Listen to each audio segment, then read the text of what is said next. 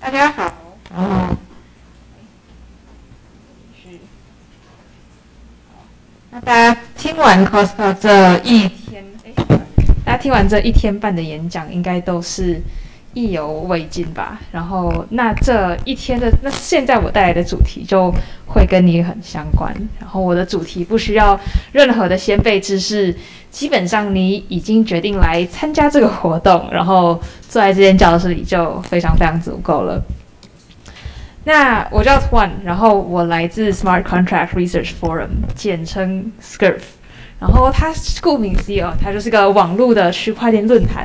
然后我的工作呢是负责联络世界各地做区块链研究的研究员，然后邀请他们来我们的社群，然后其实分享他们的研究。那今天我要介绍的这个主题，就会以我在这个组织所做的事的。就是各种所见所闻的切身经验去做分享。那首先，呃，先想一下，就是为什么呃资讯需要做研究，或是说做这个特别的研究平台的意义在哪里？就是为什么区块链有什么特别的地方吗？然后这一切的分享，其实背后的意义又有什么？就首先先来回答这个比较大大家问的问题。那就从先从我们就是发起人他所在生活观察到的现象来看，其实不管是任何的产业啊，就是无从就是他们都会重复的解决类似的问题，在不同的时间点被不同的人碰到。然而人就是无论他是单纯的一个人，还是他是这样一个团队。只要他没有跟其他碰到也是相同问题的人进行资讯交换，那么他那一次无论是成功还是失败，他的所有踩过的雷就会留在他自己脑袋、他自己的记忆里面，他不会成为人类的这个传到其他人类身上。下一次有人碰到一样的问题的时候，同样的东西就要重新来一遍。那那些被经历过的事情，他都各自解决，他们没有再进行迭代。那区块链稍微比较特别的地方在于，这个领域它是非常年轻的，然后它资讯因为就年轻，所以常常需要更新，然后有很多事情要变动，有很多创新在发生，所以就是这些迭代的问题，它就特别特别严重。另外额外就是就是它的它它可能跟钱的关系就比较大，所以你失败一次的成本都会特别高，所以这是为什么在这个领域做这件事情它特别重要。另一方面呢，就是有很多学者，就是他们都在做研究，但是这一些研究的成果，它比较不容易被看到，然后不容易被学习，何况是再去被迭代。就是我刚刚提到，我工作是做一些跟研究员的联络，就常常我会碰到一些主要是在硕士上下的人，然后他们就会联络他的时候，他就会很惊讶，说：“哎呀，就我没有想过有任何人会看我的研究。”就不就很奇怪嘛？就是你明明花了这么多时间做研究，就从小到大，然后又大学念了很久，好不容易挑了一个主题，然后他们都就是熬夜赶了那么久，然后最后觉得没有人会看这个研究，你觉得你的研究没有价值吗？绝对不是没有价值，不然你就不会做了。那会是什么呢？那就是就是事情就是这样，就是常常东西做出来之后被看到的机会就是没有那么多。所以啊，就是他们没有被期待自己看到，他们被我们联络的时候会很惊讶。那就是再稍微强调一下，就是我我说的这个现象，并不是在说就是大家不会开源、不会做研究、不会分享，而是这一些被做出来的研究或分享或是结果，他们成为。一个堆积如山的 PDF，然后堆在角落，然后没有人会可能会特别关心它，或是想说它是可以怎么样被应用，然后被分享了出来。就是那个最后一里路，它没有被走完。就是他可能会有些人在 Telegram 里面私讯讨论啊，可能我们在 Costco 会实体见面，可能会关心和讨论一下，然后可能就是有人下载看一下。可是它怎么样，就是让它发挥最大的价值呢？那。所以，我们这个造成的问题就是重要的研究结果，或者是最好的就是 best practice，它就是对一个人可能有帮助，但是那个正在执行这个专案的人，我们不知道怎么样把这个东西交到他的手上。所以研究完成了，我们就要想办法走完最后一里路，否则就是会有人需要单枪匹马的继续重复走，一直走同样的路，或是踩地雷执行他的专案，没有办法用前人的智慧，然后借鉴，然后从那边进行学习。除此之外，呃，如果不分享的话，另一个问题就是一篇研究，你不知道说它。在你整个知识的图谱里面，它属于哪一个地方？就是可能你在研究 A 问题，然后想要它找 A 的解决方案，但你不知道同样的 A 问题很关心的就是 B 问题，它的就是跟 A 问题的连接，因为你比较 focus 在那边，所以你非常深入去做一个研究，但是没有人帮你做一个跨项的整合。所以，因为这就是习惯问题，因为研究丢在各个地方，所以你往一个地方去做很深的搜寻，就不一定能够找到它附近相关的知识。那这就是同样的问题，我们都想要处理。所以呢，就是总结来说，我们想要用一句话整理问题呢，就是怎么样让大家在做一个专案之前，很有效率的去做好功课，把前人的智慧，就是做做功课做这个步骤，把它弄得很简单，然后。在愿景呢，就是就是我们可不可以有一个地方，就是只要你想要做一件事情，你就来这边先查资料，然后看看之前的人怎么解决你的问题。呃，那这样子就是希望每个人都可以站在巨人的肩膀上再进行迭代。那我们做的方法是什么呢？就有几个步骤。首先就是我们每个礼拜都会去看有什么新的 paper 出来。经常就是有个同事，他就是。就是喜欢看，他本来就喜欢看 Google Scholar，然后他就把它变成变成现在变成他工作的一部分。他每个礼拜就是去那个 API，然后就看有哪一些 tag，然后就是呃所有相关的 tag paper，他就会全部拿来看，一篇一篇看。然后有些是看摘要就可以知道要过滤，或者是加进来；有些可能要比较细看，比较花时间。然后最后平均一个礼拜大概会整理个四到十二篇 paper，然后。大概会整理四到十二篇 paper，整理然后发到论坛上面，变成一篇贴文，讲说这个礼拜出来比较有趣的研究，大概有这一些。那这是个大概什么样的工程呢？就是量化一下，就是那个同事他去年他看了大概一万篇的 paper，然后除以五十，就是一个礼拜要过滤呃一百多篇。然后目前他这个事情已经持续了大概一年多，呃，七十五个礼拜，然后就是每个礼拜出刊，然后就看这些各种 paper，全部发到论坛上，然后这样子，如果你想知道有什么重要的发展出来，你就上去论坛，每个礼拜就可以看得到。然后除此之外，我们从上个月开始就会每一个每一次贴文的时候，还会发一段小小的脉络。就是解释为什么这一篇文被选了进来，那尽量会以比较从就是一个大大尺度的地方来看，说补很大的脉络，来定位这一个研究它在哪个领域的贡献和价值，就是帮助呃就是没有在平常在看的人也可以看得懂，或是让比较能够有跨就是领域的这个效果。如果直接举一个简单的例子来讲。就是我们，比如上礼拜收录了一篇 zk start 的应用，然后假设只看 abstract 的话，就是是是本文的前面，你基本上只看得出来它是一个零知识的证明技术在交易网络上面的应用。不过我们提供的那个介绍，它就会讲一些比较生动和具体的例子，因为它就提到了 MEV 的背景，演出说交易在链上的曝光。是导致使用者会产生风险的问题，所以你把 M D 问题放在隐私脉络去讨论，那隐私脉络讨论就会想到用零知识去做解决，所以就会把这些上应用在加密的一些交易上面，所以就会出现一些 DeFi 还是比较有隐私，然后可以比较避免第三方有利可图的机会。然后整体而言就会避免这些市场的不效率，然后导致市场的就整体产业的进步，就大概这样子，就是比较比比较有趣一点，就比起你自己去看 paper，可能还要更容易抓脉络。那例子讲完了，就这其实如果讲的也不太细，就也不用太执着，反正选文的标准就是呃就是铺一个脉络，然后看看那个研究它能不能在针对产业正在发生的问题。具体然后有效的提出观察或者是解决方案，然后帮助之后想要去呃做专案的人，还有一个可以迭代的方法。那这个就是比起其他的五招，呃，就是可能有些人他会针对某一个特定的，就是专业，可能想要看那个地方有什么技术的进步，就是我们不是这样子，我们就是看这个产业里面发生了什么问题，然后针对那一些问题去看，就是哪些 paper 实际做出了解决，去选它，就是非常就是应用和解决问题导向的。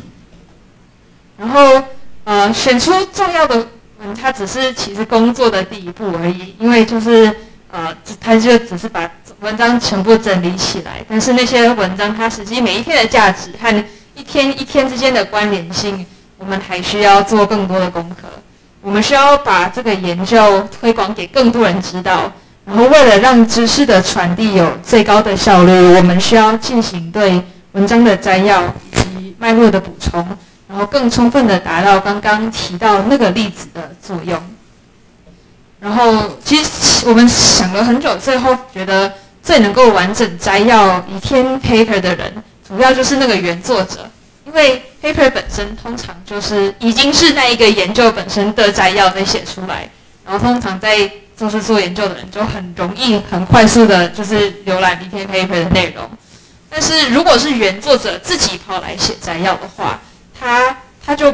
会很有参考价值，因为你会更进一步的知道他所想要表达的东西是什么，所以你就会特别想要去看那一篇。而且实际你在问他问题的时候，他也比较能够针对 paper 没有提到的内容去做回答，或是做创意的延伸。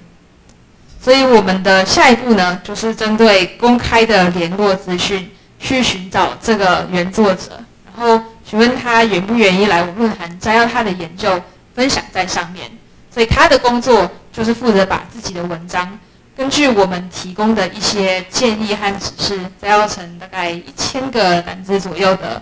量，然后发到论坛上，接着跟社群的成员来做互动。那这些研究作者呢，他们的反应是什么？我觉得我想稍微提一下，因为我觉得在场应该会有人他。会想知道说，跟这些研究员如果联络去请他来分享呃东西的时候，他们可能会有什么反应？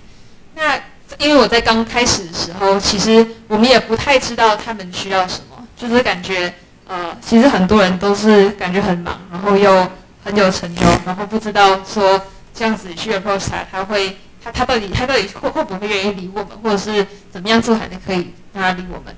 那我们，那我也必须讲清楚，就是我，呃，我们其实，在联络他的时候，不只是完全无偿的，就是我们也会提供他报酬。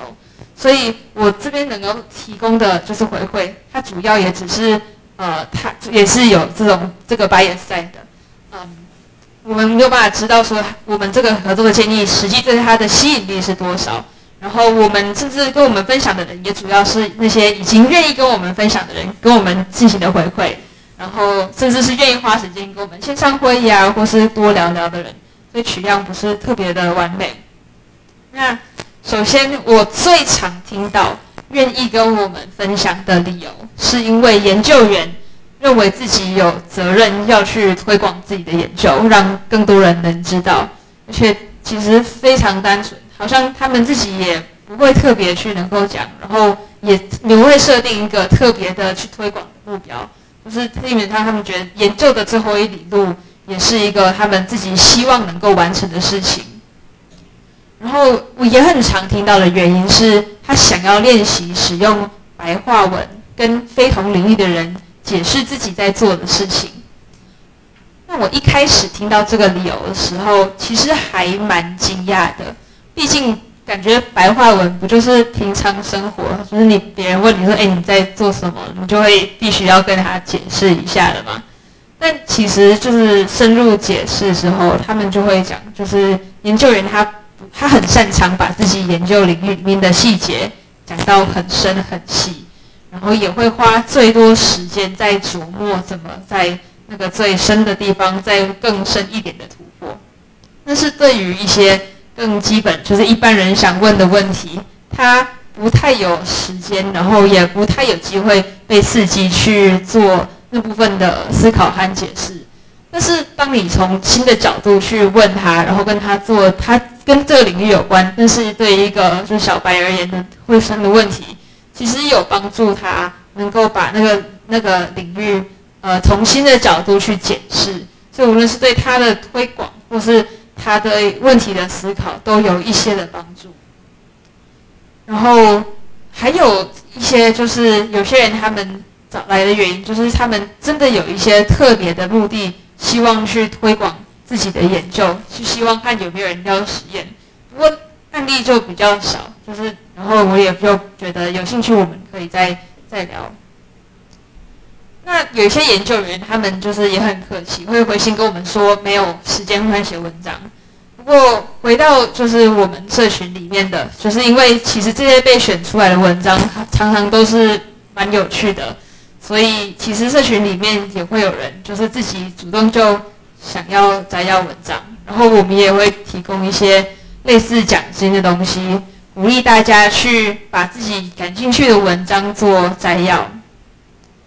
那反过来，虽然就因为他不是原作者，所以我们就会，他缺点就是我们没有办法，就是确定他是不是作者的重点被完全摘要起来，我们会配一个人帮他一起。检查这个摘要，然后我们对写稿也会有一些撰写的指引，然后我们自己会特别想做的，就是帮忙去试着把它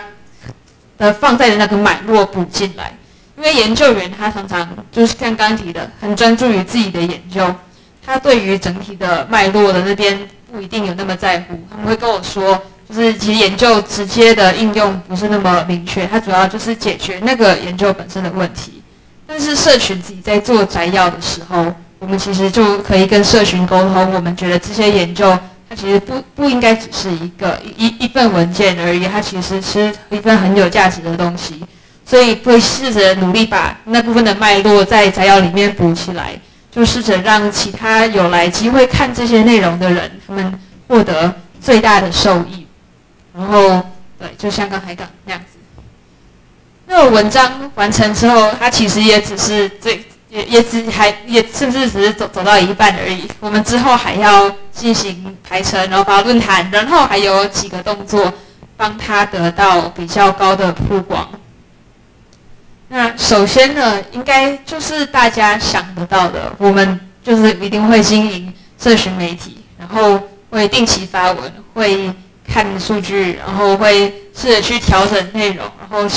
然后吸引就是呃让大家成长，就虽然研究员也可以在自己的页面上发文，就是无论是自己的社群媒体、自己的部落格这些，大大家本来就有在做，但是那个如果是发在自己，比如说比较就是比如部落格或甚至是 h 这样子，就是很多比较少人会看，然后发在自己的社群媒体上，那主要还是针对自己的人际网络里面有的，呃，因为然后对任何一个人言，其实。经营社群媒体都是要花很多时间去投入的一份工作，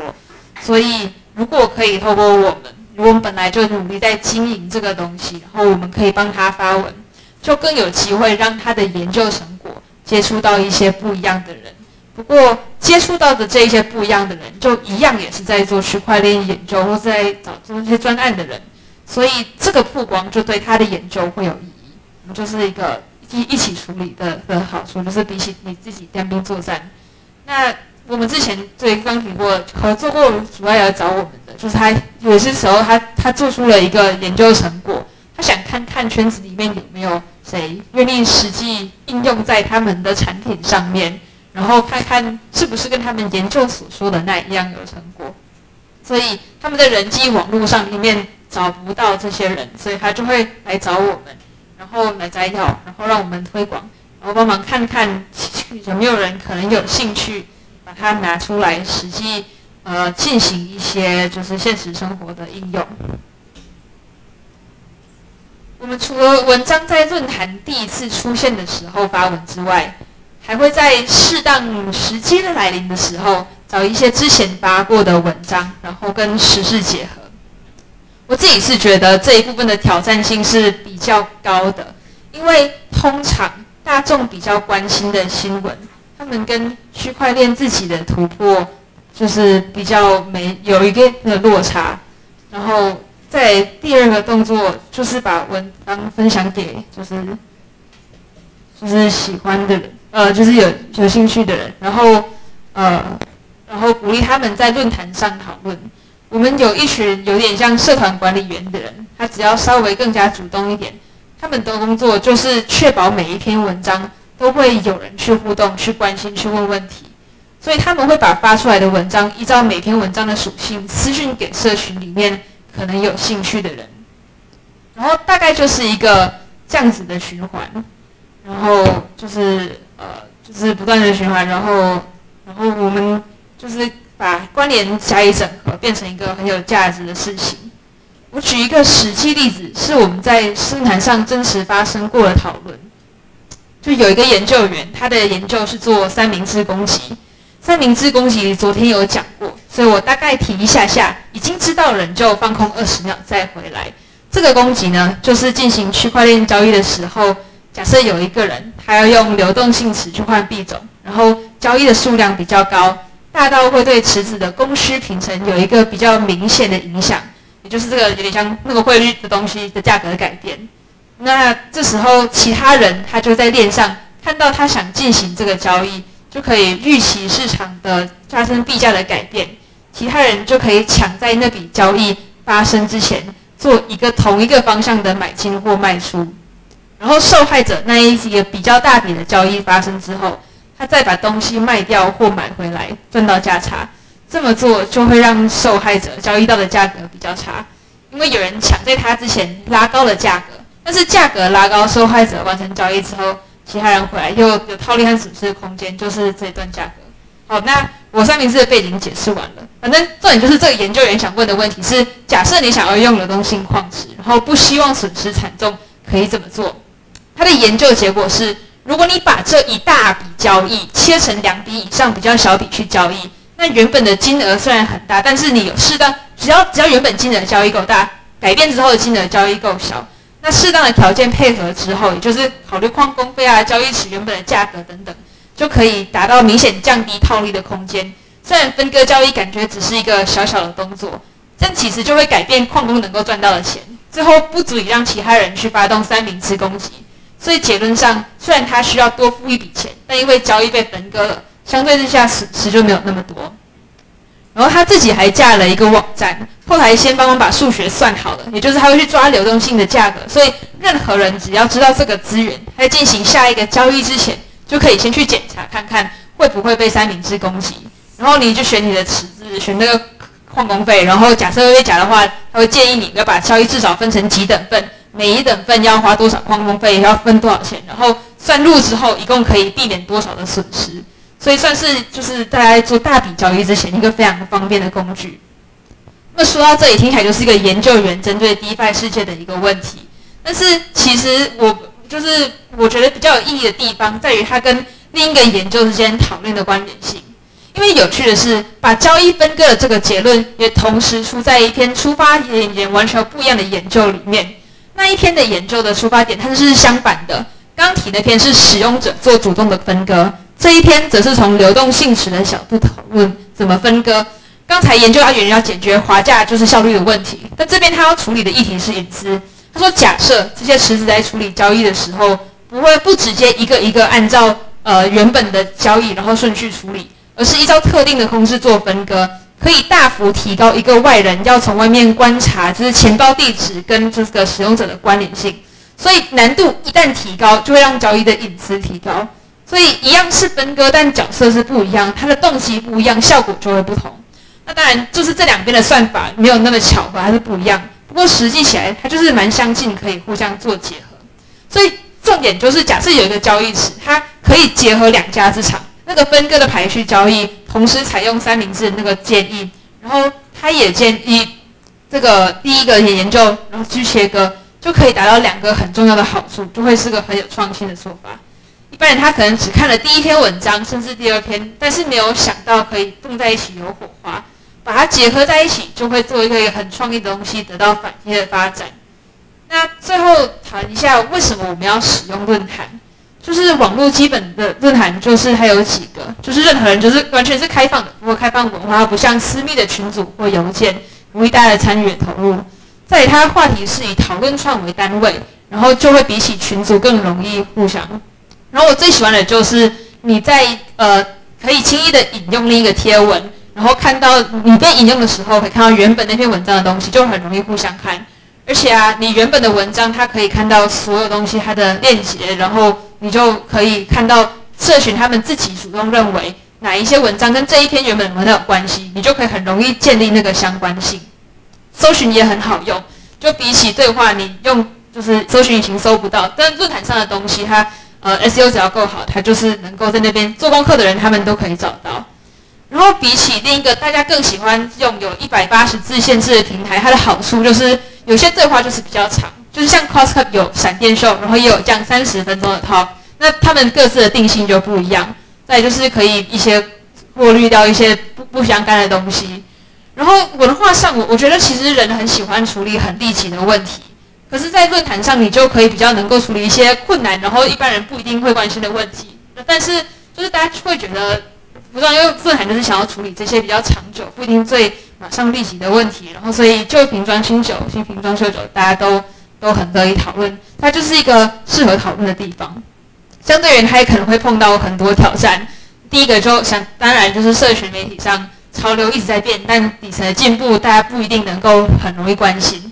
然后社群里面就是其实要让大家对研究产生关心有困难。那我们就符合这个圈子的文化，会做一些比较好玩的事情，就是我们有提供一个。就是一个一个资金池，然后大家只要去论坛上互动，然后你只要你的留言被按爱心啊，或是你留很多言，那他就会把那资金池一部分分给你，然后它就是一个好玩的东西。如果你有兴趣，就是可以去了解看看。就是它是用一个区块链里面一个开源的城市嘛，它的演算法就是叫 SourceFed，然后你就是去注册论坛，然后再进到里面，他会教你指示，然后有问题就可以再再问我。那他就是会分。把把这一个东西好玩啦，就是鼓励大家去讨论。